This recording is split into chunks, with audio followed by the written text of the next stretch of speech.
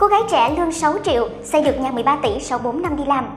Vốn là một cô gái thích độc lập, cô nàng này đã sớm đặt ra mục tiêu mua nhà riêng vào năm 26 tuổi. Cô đã lên kế hoạch chi tiêu, tiết kiệm ngay từ khi đi làm. Là một người có học thức với chỉ làm giàu từ nhỏ, nhưng gia đình lại bắt đi làm nghề giáo, nghèo nàn. Lương giáo viên cùng với dạy thêm, làm thêm từ sáng đến tối mỗi tháng được 6 triệu. Linh Anh để dành 3 triệu và chỉ tiêu trong giới hạn phần còn lại. Cô đã tự đặt ra nguyên tắc, dù thế nào cũng không tiêu vào số tiền tiết kiệm. Thay vào đó, trong những trường hợp khó khăn, cô sẽ cố gắng bù vào bằng cách đi làm thêm. Được tư vấn và lên ý tưởng xây dựng căn nhà phố 3 tầng một trệt, hoàn thiện chỉnh chu, chìa khóa trao tay hết hơn 12 tỷ 850 triệu đồng. Để đạt được mục tiêu xây nhà trong năm 2020, Linh Anh đã tập cách chi tiêu, tiết kiệm. Do ở nhà chung với bố mẹ, nên mỗi tháng cô chỉ sử dụng 3 triệu đồng cho việc mua sắm cá nhân và hội họp bạn bè. Số còn lại sẽ gửi vào tài khoản ngân hàng.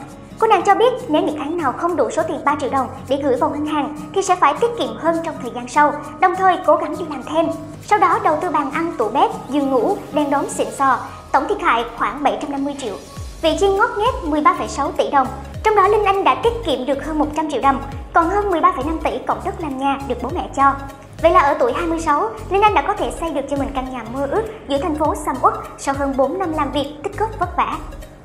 Trước câu chuyện cô gái 26 tuổi xây dựng nhà khang trang gây ra nhiều cuộc tranh cãi trái chiều trên mạng xã hội, một số tài khoản cho rằng cô gái này vốn đã có xuất thân giàu có, việc xây nhà hoàn toàn phụ thuộc vào bố mẹ. Tuy nhiên bên cạnh đó cũng có một vài người nhận thấy Linh Anh là người tiết kiệm, biết cách chi tiêu và xây dựng kế hoạch sống rõ ràng.